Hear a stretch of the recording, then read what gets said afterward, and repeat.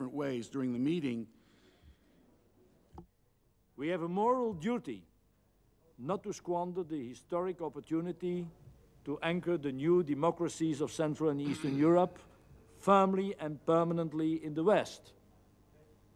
And this must sooner or later mean full membership in those institutions that epitomize more than any others democracy and security, namely the European Union and NATO. Ich bitte, seine Ausführungen zu uns zu machen und wir dann später in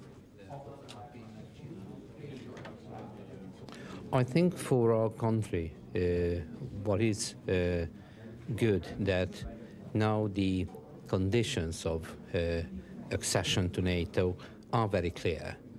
Uh, we have to uh, meet the requirements as far as the uh, Uh, Hungarian armed forces are concerned, as far as the principles of NATO is concerned. That means parliamentary democracy, the rule of law, and market economy. So we know what we have to do if we want to join the alliance. Different ways during the meeting. Well, I think that our future membership in NATO is a foregone conclusion. The only problem is when and how. Uh, and when we talk about practicalities, the question is how should we restructure our forces? Uh, what kind of uh, infrastructural changes we should introduce? But basically, what kind of changes in procedures in military doctrine uh, we should adopt to be more compatible with NATO standards?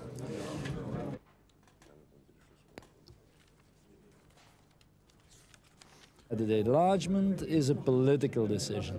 So I can imagine that there is unanimity in order to take in nation A, even if all the conditions from the military or budgetary point are not fulfilled, uh, and that a nation B, fulfilling all those conditions, is not coming in. So democracy in the army too. In the organization of the, organization of the state, the respect of the human rights, and of course, the willingness to cooperate, to be more than uh, a security consumer, if I may say, is uh, essential to me. Bundesminister Kinkel das Wort zu nehmen.